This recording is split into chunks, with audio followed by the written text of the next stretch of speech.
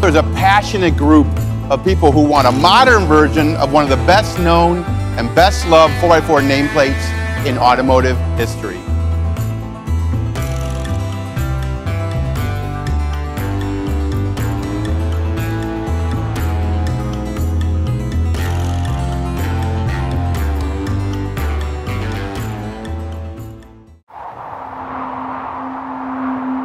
There's still some wild out there.